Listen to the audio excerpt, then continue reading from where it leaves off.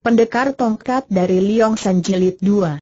Ibunya terharu mendengar ini dan menyeka air matanya yang hendak mengalir keluar. Tiba-tiba ibu ini merasa bahwa ada baiknya kalau ia menceritakan riwayat suaminya kepada anak ini agar dapat dijadikan cermin. Kong Li, ayahmu meninggal dunia karena terlalu menuruti hati sedih yang sebenarnya adalah menjadi akibat dari kesalahannya sendiri dan oleh karena insyaf akan kesalahan itulah maka ia berpesan agar kau menjadi seorang yang berkepandaian tinggi dan jangan sekali-kali mencari permusuhan dengan orang lain. Kong Li sangat tertarik akan cerita ini.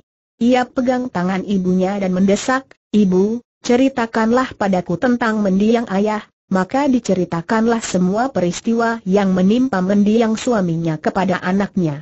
Tapi untuk menjaga agar anaknya jangan sampai menaruh dendam kepada Tio Sui Kiat sebagaimana pesan suaminya dulu, ia menutup penuturannya dengan kata-kata, Kong Li, kau dapat mengerti bahwa ayahmu roboh di tangan orang karena kesalahan sendiri.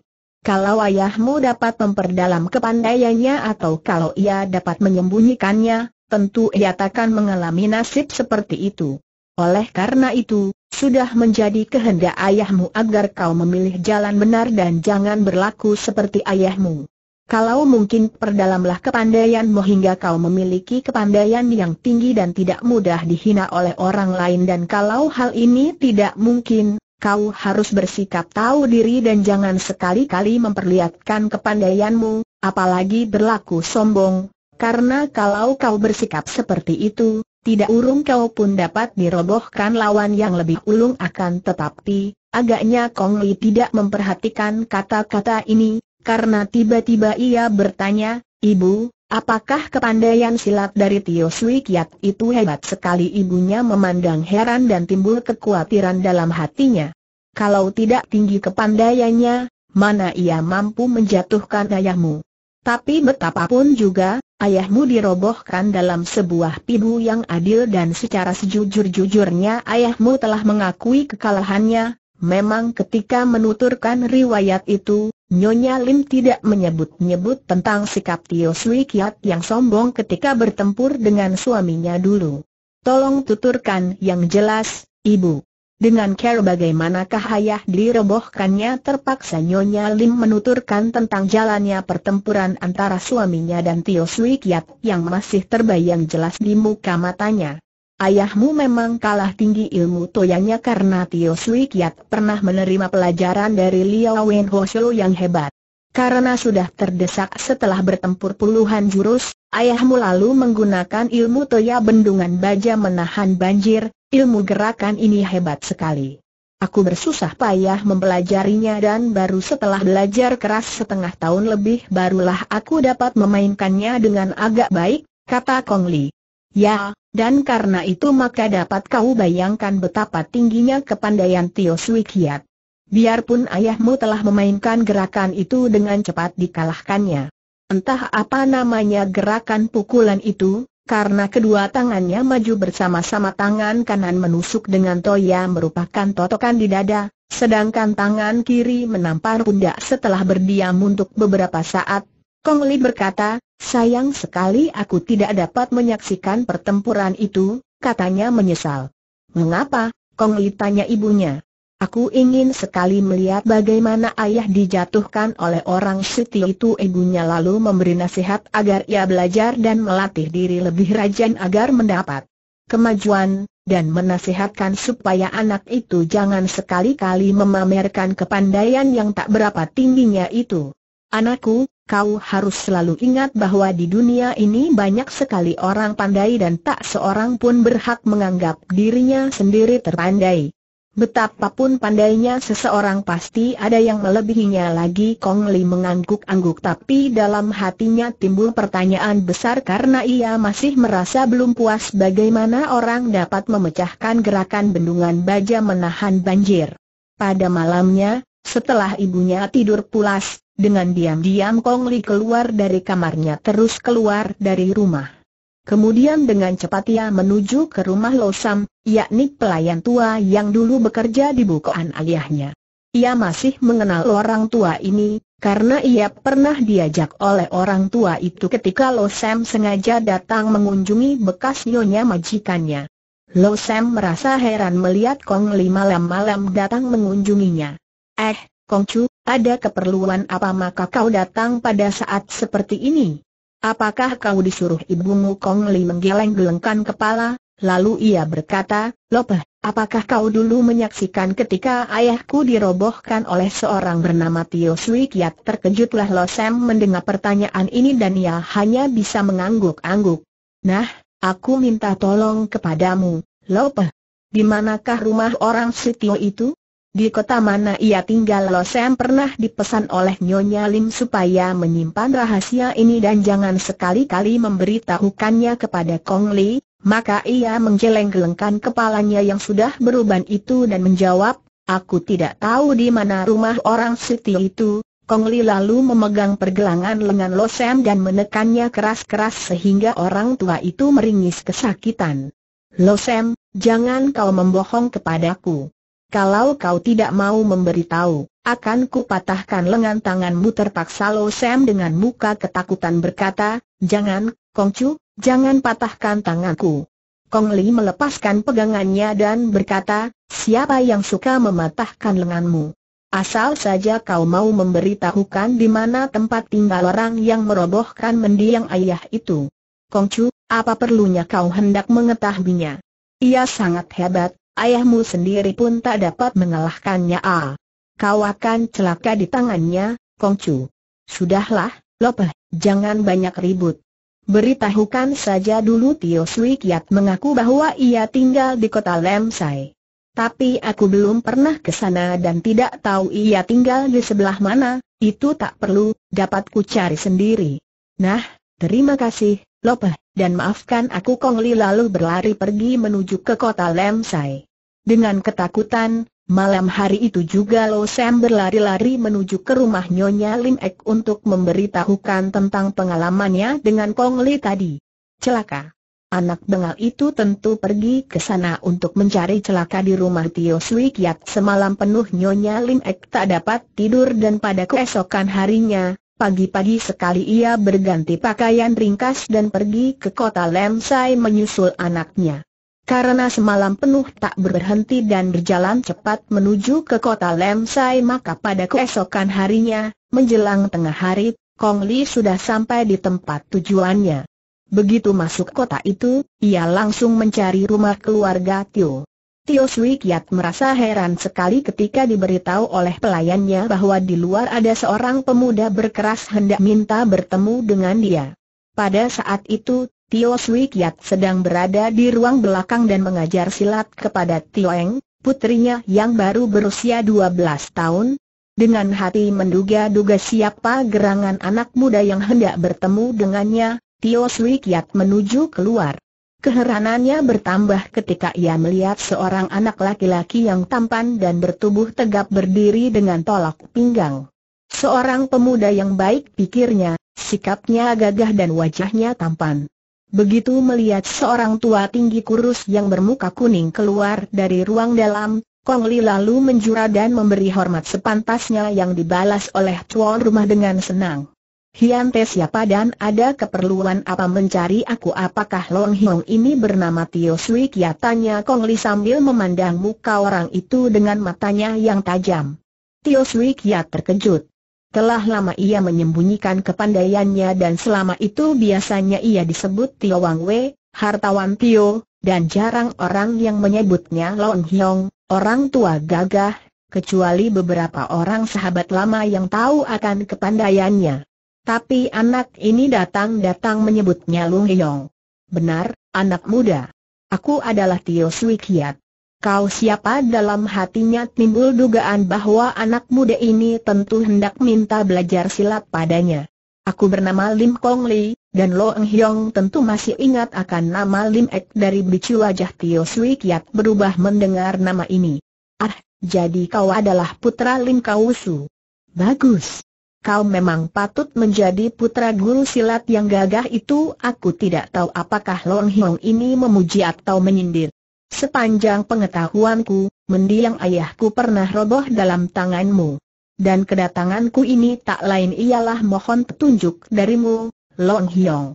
Aku pun ingin sekali merasakan kehebatan Toya yang pernah merobohkan ayahku itu Tio Sui Kiat berdiri dari duduknya. Ia suka sekali melihat anak muda yang selain tampan dan gagah, juga bersifat jujur dan berani ini. Jarang ada anak muda yang setabah ini dan diam-diam ia menyesal sekali akan kesombongannya dulu yang telah menjatuhkan Limek dan menimbulkan sakit hati. Karena ia menduga bahwa anak muda di depannya ini tentu menaruh dendam karena kekalahan ayahnya dulu.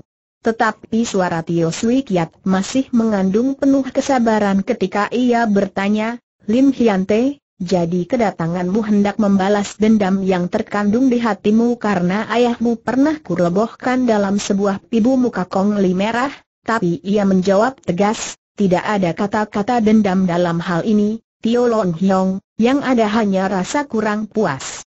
Aku hanya ingin merasakan sendiri sampai di mana ketinggian ilmu toyamu dan sampai di mana kehebatanmu agar hatimu puas dan dapat mengerti mengapa ayah dulu sampai kalah olehmu. Ku harap saja kau orang tua suka memenuhi permintaanku ini Tio Sui Kiat semakin tertarik dan suka kepada anak muda ini.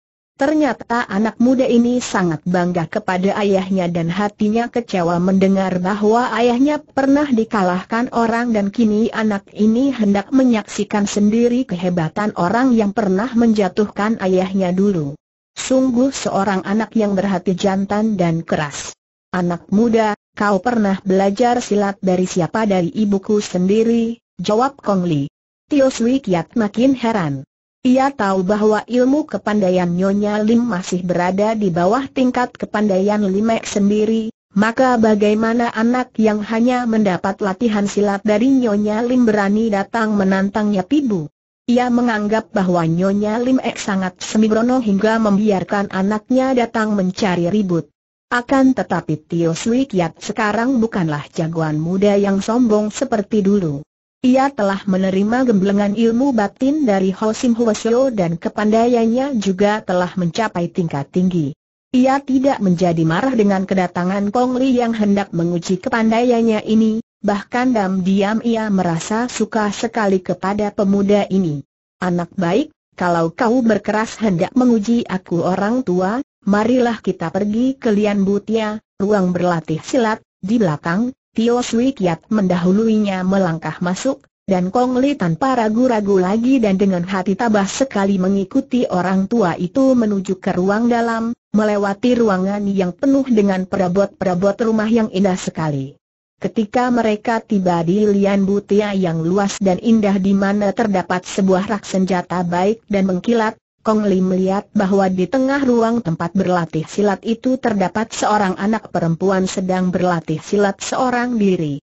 Anak itu berpakaian serba biru dan dua batang kuncirnya yang panjang diikat pita merah dan dililitkan di lehernya. Ia sedang berlatih silat dengan siang kiam, sepasang pedang, di tangan kiri kanan dan gerakan-gerakannya lincah sekali. Ketika mengetahui bahwa ayahnya datang bersama seorang lain, Anak perempuan itu segera menghentikan permainannya dan menyimpan siang kiam itu di rak senjata. Kemudian anak perempuan itu berdiri di dekat dinding dengan kaki terpentang dan kedua lengan tersembunyi di belakang punggung, memandang ke arah Kong Li dengan sepasang matanya yang lebar dan bening, sama sekali tidak kelihatan malu-malu seperti biasanya seorang anak gadis bila melihat tamu yang belum pernah dilihatnya, apalagi seorang pemuda. Kalau anak perempuan lain tentu akan cepat-cepat lari pergi dan menyembunyikan diri di dalam kamarnya dengan hati berdebar.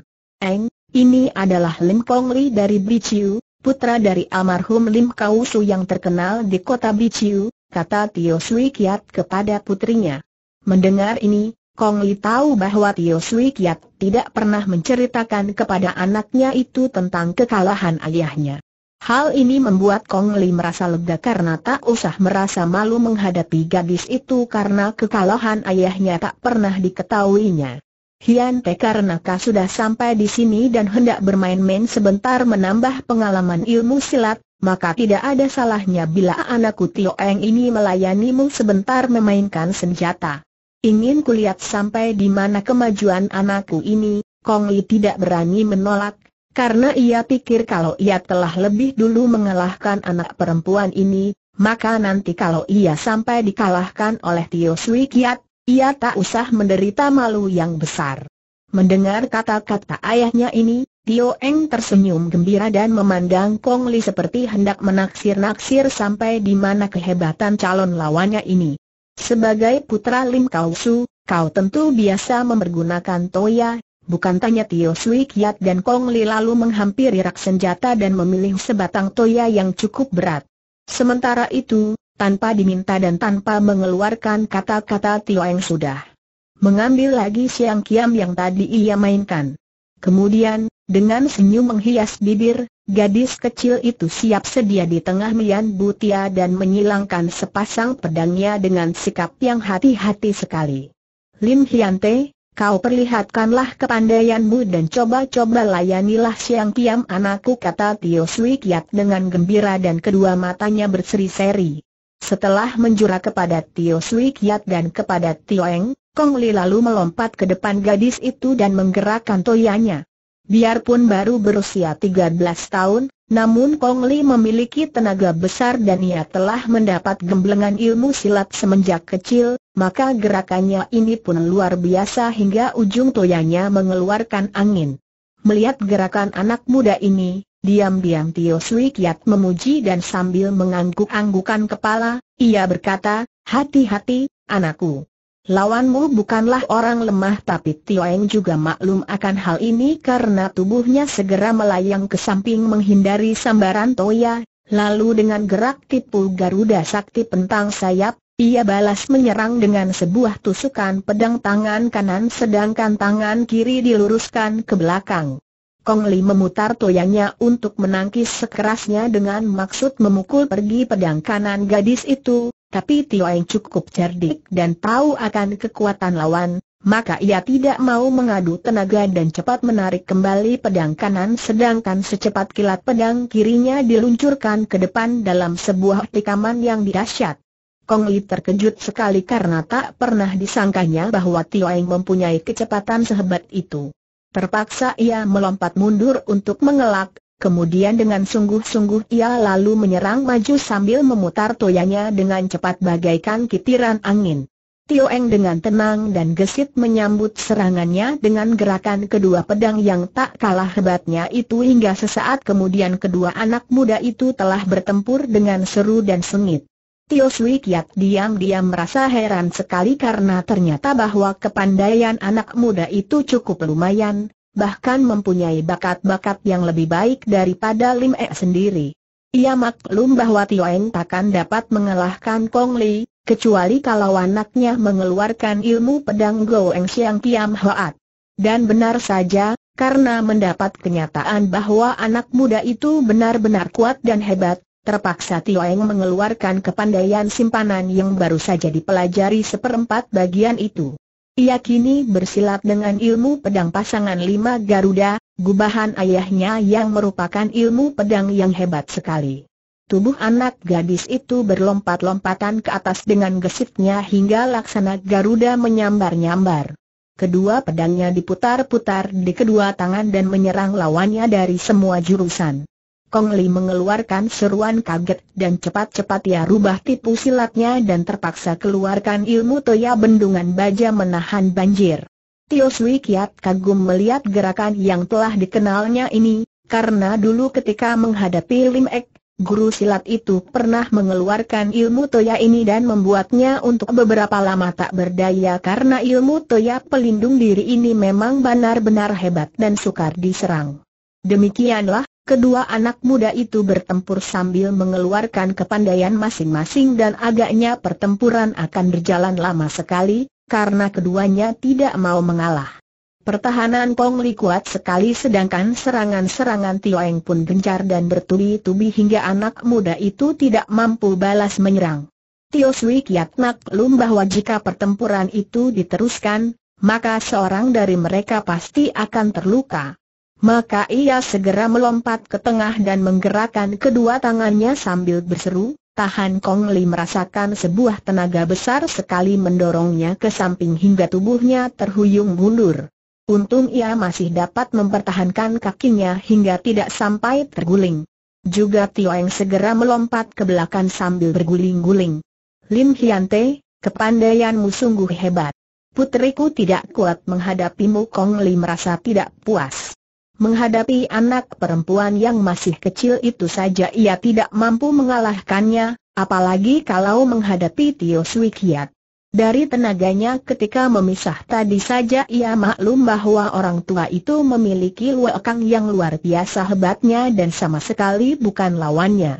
Akan tetapi semangatnya yang menggelora membuat ketabahannya tebal sekali ia lalu menjura dan berkata kepada Tio Sui Tio Lon Hyong, sesungguhnya kedatanganku ini dengan maksud ingin merasai dan berkenalan dengan kehebatan ilmu toyamu maka harap kau orang tua suka berlaku murah dan memberi sedikit petunjuk sambil berkata demikian, Kong Li bersiap dengan toya di tangan dengan sikap menantang sekali. Tio Sui Kia tertawa dan di dalam hatinya geli melihat kenekatan dan beraninya Kong Li yang dianggapnya seperti seorang anak yang menantang seekor harimau.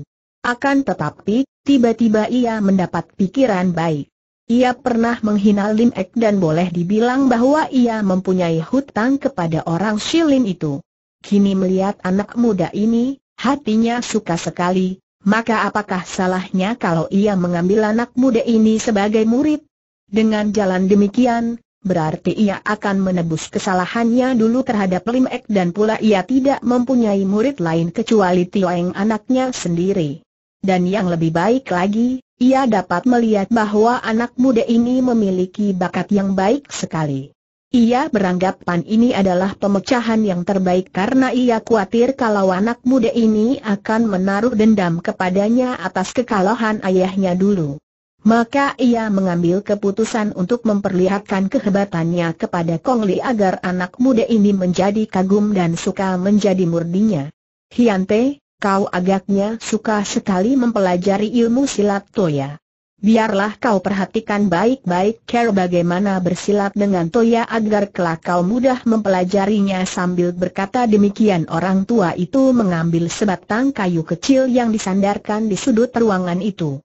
Nah, kau mulailah menyerang, Hiante dan aku akan mencoba mengalahkan kau dalam tiga jurus bukan main panas hati Kong Li mendengar ucapan ini yang dianggapnya sangat memandang rendah padanya. Ia masih muda sekali dan pikirannya belum matang serta pemandangannya belum luas, lagi pula darahnya masih sedang panas-panasnya. Ilmu silatnya telah dipelajari sejak ia bisa berjalan hingga sebetulnya sudah cukup tinggi. Sekarang orang tua ini hendak menjatuhkannya dalam tiga jurus. Baik, Lon Hyong, katanya dan ia lalu bersiap sambil memutar otak. Ia tidak mempunyai harapan untuk dapat mengalahkan orang tua ini, karena baru anak perempuannya saja sudah berkepandaian sehebat itu. Akan tetapi ia hendak mengambil keuntungan dari kata-kata orang tua itu. Kalau saja ia bisa bertahan sampai tiga jurus, Bukankah itu berarti ia telah menang dan orang tua itu akan merasa malu? Oleh karena pikiran inilah maka ia lalu memutar toyanya dan sengaja memainkan gerakan bendungan baja menahan banjir. Pertama-tama karena memang ilmu toya. Inilah yang dianggap terkuat untuk melindungi diri, dan kedua ia hendak mengetahui dengan care bagaimana ayahnya dulu yang juga mempergunakan ilmu ini sampai dapat dikalahkan. Melihat betapa anak muda itu hanya memutar-mutar toyanya dalam gerakan bendungan baja menahan banjir tanpa maju menyerang sedikit pun, Tio Sui Kiat maklum dan tahu akan akal Kong Li dan diam-diam ia merasa kagum dan memuji kecerdikan anak itu. Haha! Kau memang cerdik, Hiante. Nah, awaslah aku hendak menyerangmu sampai tiga jurus. Kalau dalam tiga jurus aku tak dapat mengalahkan kau, boleh kau anggap bahwa kepandaianmu sudah jauh lebih tinggi dari kepandaian ayahmu dulu dan anggap pula lah bahwa aku orang tua tidak berguna dan tidak pantas memberi pelajaran kepadamu muka Kong Li menjadi merah mendengar ucapan orang tua yang menyatakan bahwa pikirannya dapat dibaca oleh Tio Sui Kiat, tapi ia heran mendengar kata-kata terakhir seakan-akan orang tua itu hendak memberi pelajaran silat kepadanya. Akan tetapi, benar ia berlaku hati-hati sekali dan memutar-mutar toyanya dengan gerakan yang lebih cepat lagi. Awas serangan pertama tiba-tiba Tio Sui Kiat berseru dan sebatang kayu di tangannya itu meluncur cepat sekali seakan-akan hendak menerobos bendungan baja yang dibuat oleh putaran Toya Kong Li. Anak muda itu mengerahkan tenaganya dan menangkis.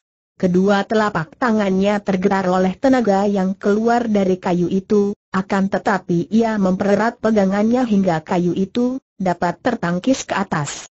Bagus Tio Sui Kiat memuji, tapi bersamaan dengan terpentalnya kayu di tangannya itu ke atas, tubuhnya juga ikut melayang ke atas dan dari atas, orang tua itu berseru, awas serangan kedua dan tubuh itu menyambar turun dengan ujung kayunya meluncur hendak menotok pundak Kong Li.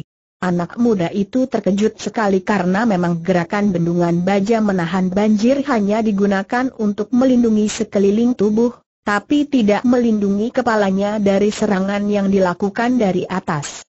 Ia lalu menggulingkan tubuh ke samping dan memutar toyanya ke atas sehingga sekali lagi ia dapat menyelamatkan diri. Pandai sekali kau, Hian Tetio Sui Kiat memuji lagi dan dengan mempergunakan ilmu meringankan tubuh yang luar biasa sekali, tahu-tahu orang tua itu telah berada di sebelah kiri Kong Li. Awas serangan ketiga teriaknya dan kayu di tangannya kini menyerang dari kiri dengan gerakan memutar, Kong Li yang sudah merasa girang karena dapat menyelamatkan diri dari dua buah serangan dan kini hanya tinggal satu serangan lagi untuk mendapatkan kemenangan, segera memutar toyanya menangkis serangan yang agaknya lambat sekali datangnya itu. Tapi ketika toyanya menempel tongkat kayu di tangan Tio Sui Kiat, tiba-tiba ia terkejut sekali karena kayu itu lalu berputar cepat dan toyanya tak tertahan lagi ikut terputar-putar dan ia tidak kuat lagi menahan pegangannya karena kedua tangannya pun ikut terputar. Toyanya lalu terlepas dan terpental ke udara dalam keadaan masih terputar-putar, tapi disambut oleh Tio Sui Kiat dengan tersenyum. Nah, Hiante, sekarang bagaimana pendapatmu setelah berdiri melongok untuk beberapa lamanya, dengan kagum sekali anak muda itu menjura. Long Hyong, ilmu toyamu memang benar-benar luar biasa. Tidak heran kalau almarhum ayahku pernah jatuh di tanganmu. Aku masih bodoh sekali dan biarlah lain.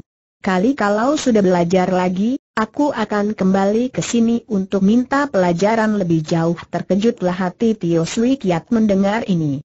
Benar-benar anak muda ini keras hati dan masih belum puas sehingga masih mengandung maksud hendak membalas kelak setelah menambah ilmunya. Buru-buru ia berkata, Lim Hyante, ayahmu adalah seorang gagah perkasa dan aku kenal baik kepadanya. Kalau saja kau ingin belajar ilmu Toya, Aku bersedia untuk memberi pelajaran kepadamu. Percayalah, dengan menjadi muridku dan menerima pelajaran dariku, kau akan menjagoi di seluruh provinsi dan jarang mendapat tandingan. Aku akan mengajarkan semua kepandaianku kepadamu. Kong Li merasa terharu sekali. Tak ia sangka sama sekali bahwa orang yang pernah merobohkan ayahnya demikian baik hatinya kepadanya. Ia menggeleng-gelengkan kepala dan tersenyum. Terima kasih banyak atas budi kecintaan Long Hiong. Tapi maafkan karena saya tidak dapat menerima tawaran Long Hiong dan saya tidak berani mengganggu lebih jauh. Harap Long Hiong tidak salah paham, bukan sekali-kali maksudku hendak membalas dendam karena sekali-sekali saya tidak menyimpan dendam atau sakit hati terhadap Long Hiong. Saya hanya ingin sekali memiliki kepandaian yang lebih tinggi dari Long Hiong dan menebus kekalahan ayah yang dulu. Hanya itu saja dan sekali-kali saya tidak bermaksud buruk. Sekali lagi maaf, Long Hiong, dan sampai bertemu pula beberapa tahun kemudian setelah berkata demikian anak muda itu melangkah pergi dengan langkah lebar. Tio Sui Kiat berdiri tercengang karena ia sama sekali tidak menyangka bahwa anak muda itu akan menolak tawarannya.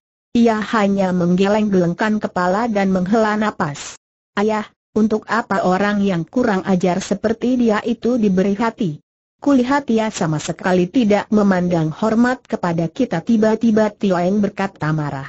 Ayahnya hanya memandang puterinya dengan senyum sedih, lalu berkata, anakku, kau tidak tahu bahwa ayahnya dulu meninggal dunia karena malu dan sakit hari setelah kurobohkan di depan orang banyak tapi, bukankah telah ayah katakan bahwa ayah dapat mengalahkan ayahnya dalam sebuah pibu yang adil bantah anaknya. Tio Sui Kiat mengangguk-angguk dan menghela napas lagi. Memang, memang, tapi aku dulu tekebur sekali, ah, kau mau tahu. Aku merasa kasihan kepada anak muda itu. Ia berbakat baik. Dan pada sore hari itu, pada saat Tio Sui Kiat sedang duduk termenung memikirkan Kong Li, tiba-tiba pelayannya memberitahukan bahwa di luar ada seorang tamu wanita. Tio Sui Kiat segera keluar dengan heran karena menduga bahwa tamu wanita itu katanya minta bertemu dengan dia. Wanita siapakah yang hendak bertemu dengan dia? Sungguh hari ini banyak terjadi hal-hal yang mengherankan. Ketika ia keluar, ia berhadapan dengan seorang wanita setengah tua yang cantik dan gagah. Dari pakaiannya yang ringkas ia maklum bahwa wanita ini tentu seorang ahli silat, maka ia segera mengangkat kedua tangan memberi hormat yang dibalas sepantasnya pula oleh nyonya itu. Siapakah Li Eng Hiong dan ada keperluan apa tanyanya? Tio Tai Hiap, lupakah kau kepadaku? Aku adalah Kwe E Chin Hwa, Janda dari Limek terkejutlah Tio Sui Kiat mendengar bahwa ia berhadapan dengan ibu anak muda yang siang tadi mengunjunginya. Apakah artinya ini semua? Lim To Anio, apakah kau juga berpemandangan singkat seperti anakmu tanyanya kemudian. Muka nyonya itu tampak berubah terang. Ah, jadi benar-benar Kong Li datang ke sini? Tio Tai Hiap, di manakah anakku melihat bahwa kedatangan nyonya itu hanya untuk mencari anaknya, Tio Sui Kiat menjadi sabar kembali dan ia persilakan nyonya itu masuk ke dalam. Tio Sui Kiat lalu memanggil istrinya dan memperkenalkan nyonya Lim X sebagai ibu Kong Li, karena tadi ia telah berbicara dengan istrinya perihal pemuda itu. Nyonya Tio yang peramah dan terpelajar itu menarik hati Nyonya Lem. Kemudian, setelah Tio Eng mengeluarkan air teh yang dibawa oleh seorang pelayan, Tio Sui Kiat lalu menceritakan tentang kedatangan Kong Li. Ia ceritakan pula bahwa ia tadinya hendak mengambil anak itu sebagai muridnya, tapi agaknya anak muda yang keras hati itu tidak suka menjadi muridnya. Aku merasa menyesal sekali, Lim To Anio, bahwa anakmu itu agaknya menaruh dendam dan ingin sekali mengalahkan aku. Ia berjanji hendak kembali dan mengajak Pibu lagi setelah ia belajar lagi beberapa tahun. Hal ini sungguh-sungguh membuat aku merasa menyesal sekali Nyonya Lim menghela napas. Saya sendiri pun tidak tahu akan kepergiannya ke sini, karena ia pergi tanpa pamit. Aha, memang anak itu berhati keras seperti ayahnya, akan tetapi, saya merasa bersyukur sekali bahwa Tio Tai Hiap sudi memberi pelajaran kepadanya dan suka memaafkan kekurang ajarannya, melihat bahwa nyonya ini tidak menaruh dendam kepadanya, hati Tio Sui Kiat merasa terharu sekali dan juga girang karena ia menganggap wanita ini berhati bijaksana. Ia lalu memberi isyarat dengan metu kepada istrinya, dan istrinya pun mengerti akan tanda ini, karena tadi ia telah bicara banyak sekali tentang diri Kong Li dengan suaminya. Biarpun dia sendiri belum melihat anak muda itu, tapi ia percaya kepada suaminya yang memuji-muji Kong Li. Cici yang baik, katanya kepada Nyonya Lem. Berapa tahunkah usia putramu itu karena menyangka ahwa pertanyaan ini bersifat biasa saja sebagai percakapan antara nyonya rumah dan tamunya, ia menjawab bahwa anaknya itu berusia 13 tahun. Apakah anakmu itu sudah kau tunangkan dengan nona lain? Tanyanya. Mendengar pertanyaan ini, barulah Kwe E Chin Hwa merasa terkejut dan memandang dengan heran sambil menggelengkan kepala. Jangan terkejut, Cici. Ketahuilah, suamiku dan aku merasa suka sekali kepada putramu itu, dan karena kami pun hanya mempunyai seorang putri yang telah berusia 12 tahun dan belum ditunangkan, maka kami telah mendapat pikiran untuk menjodohkan anak kami yang bodoh itu dengan putra Cici. Bagaimanakah pendapatmu, Cici untuk beberapa lama Kwe E Chin Hwa tak dapat menjawab. Hal ini sungguh-sungguh sama sekali tak pernah disangkanya. Kalau dulu ia merasa benci melihat kesombongan Tio Sui Kiat, Sekarang ia melihat betapa orang Siti itu sopan santun, ramah dan pada mukanya terbayang sifat-sifat sabar. Karena keramahan Nyonya Tio ini, hatinya telah dapat ditundukkan dan merasa suka sekali. Tadi pun ia telah melihat Tio Eng yang selain cantik, juga bersikap sopan dan sekali pandang saja ia maklum bahwa gadis itu tentu memiliki kepandaian silat yang tinggi. Kini orang yang dulu menghina suaminya, orang yang memiliki kepandaian tinggi, hartawan dan mempunyai sebuah gedung dengan perabotnya serba indah ini, hendak mengambil anaknya sebagai menantu? Benar-benar Nyonya Lim tak dapat menjawab karena hatinya berdebar-debar dan tidak tahu bagaimana harus menjawab. Ia adalah seorang miskin dan seorang janda pula, sedangkan keluarga Tio begini kayanya. Tiba-tiba nyonya ini teringat akan suaminya dan tak tertahankan pula ia menangis terseduh-seduh sambil menggunakan kedua tangannya menutupi mukanya. Melihat ini, Tio Sui Kiat lalu mengundurkan diri dan membiarkan istrinya menghibur nyonya yang sedang bersedih itu. Nyonya Tio pun lalu memeluk pundak tamunya dan membawanya ke kamar di mana Tio Hujin menghibur tamunya dengan kata-kata halus. Karena hari telah menjadi gelap, maka malam itu Kue E Chin Hwa bermalam di situ, dijamu dan dilayani oleh Tuan dan Nyonya rumah dengan hormat dan ramah sekali sehingga Nyonya Jande ini merasa berterima kasih dan terharu. Sebagai jawaban atas usul perjodohan yang diajukan oleh keluarga Tio, Nyonya Lim Ek berkata, budi kalian sungguh besar sekali hingga aku merasa malu untuk menerimanya. Orang macam apakah anakku itu dan keluarga apakah kami ini hingga kalian memberi kehormatan sebesar itu dan sudi menerima Kongli sebagai menantu? Ah, bagaimana aku bisa menolak dan tidak menyetujuinya? Putrimu demikian cantik jelita dan pandai, sedangkan kalian begini manis budi dan hartawan besar. Akan tetapi, biarpun aku sendiri menyetujui sepenuhnya atas usul kalian ini, Aku harus bertanya dulu kepada putraku Kong Li Tio Sui Kiat dan istrinya membenarkan pernyataan ini dan sementara ini, sebelum mendapat keputusan tetap, maka kedua anak itu akan dianggap calon tunangan dulu dan sebelum ada keputusan maka kedua pihak takkan mengikat anak masing-masing dengan tali perjodohan lain. Dengan membawa kesan yang mendalam akan kebaikan dan keramahan keluarga Tio, Nyonya janda itu pulang ke Biciu dengan hati girang dan ia mengambil keputusan hendak membujuk Kong Li supaya suka menerima ikatan jodoh dengan Tio Eng itu. Akan tetapi, ketika ia tiba di rumah, ternyata Kong Li tidak ada di situ. Anak muda itu benar telah pulang, akan tetapi hanya untuk meninggalkan surat yang menyatakan bahwa ia hendak pergi merantau mencari guru yang pandai sehingga cita-cita almarhum ayahnya tercapai, yakni hendak belajar sampai menjadi seorang pandai yang tidak hanya memiliki kepandaian serba tanggung-tanggung. Tentu saja Kwe E Chin Hwa hanya menghela napas dan berdoa semoga perantauan anaknya itu takkan memenuhi rintangan sehingga tercapai cita-citanya dengan membawa perbekalan tipis tapi dengan semangat dan ketabahan besar sekali, Kong Li mulai dengan perantauannya.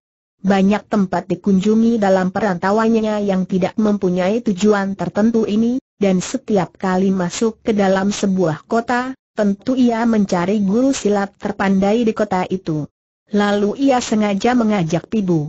Ia hendak mencari seorang guru silat yang dapat merobohkannya dalam pertempuran kurang dari tiga jurus. Karena dalam pikirannya, jika ada seorang guru silat yang mampu mengalahkannya dalam pertandingan kurang dari tiga jurus, maka berarti bahwa kepandaian guru silat itu lebih tinggi dari kepandaian Tio Sui Kiat yang baru bisa mengalahkannya setelah bertanding selama tiga jurus. Akan tetapi ternyata ia mengalami kekecewaan, karena setiap guru silat yang ditemuinya, tidak ada yang dapat merobohkannya kurang dari tiga jurus. Ilmu toyangnya telah cukup kuat dan hebat. Telah ada beberapa orang guru silat yang roboh olehnya.